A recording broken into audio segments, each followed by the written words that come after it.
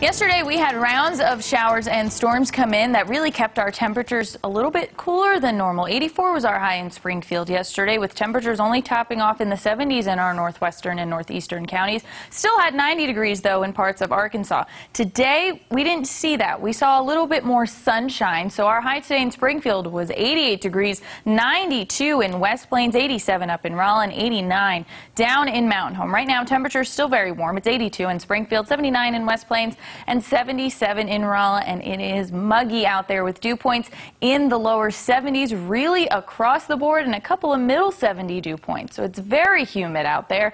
And we've also got a couple of showers to talk about. We've got this boundary or this line of showers and storms from Lockwood down towards Galena, and now making their way north of Yellville and north and east of Harrison, Arkansas. We've also got a heavier pocket of rain just south of Lamar and down towards Pittsburgh, Kansas. Now, these showers and storms, very hit or miss. Not everybody's going to see showers through the evening and overnight hours, but just keep the umbrella handy as you're heading out for any of your Saturday night plans.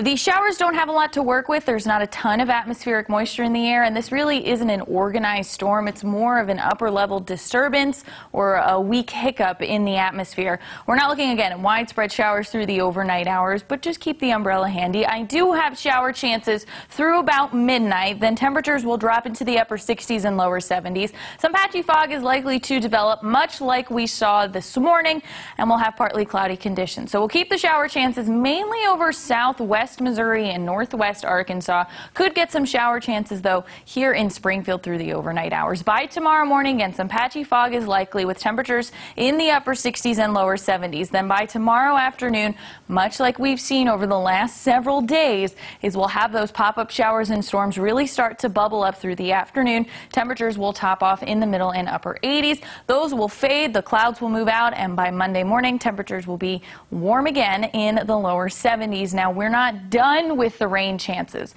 We're going to have another chance at daily showers and storms through the day on Monday.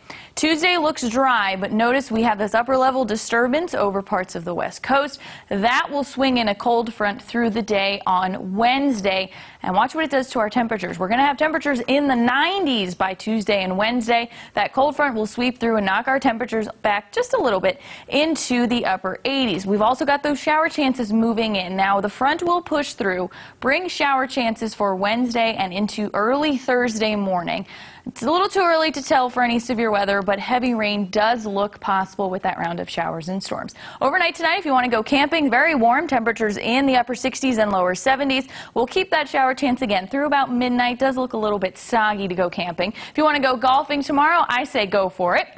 Just keep an eye to the sky. We have that chance of showers through the afternoon. It's going to be hot with temperatures in the upper 80s and lower 90s. Feel like temperatures in the middle and upper 90s, depending on who gets to see a little bit more sunshine tomorrow. And again, if you want to go fishing, looks like Tuesday will probably be the best day but it's going to be hot. So stay hydrated and, of course, keep your eye to the sky. Keep the umbrella handy. Tuesday, we'll have more sunshine, temperatures in the lower 90s, and then we'll have plenty of sunshine by the end of next week after that front comes through, bringing us those showers and storms. And look, a Saturday where there's no major there's event. No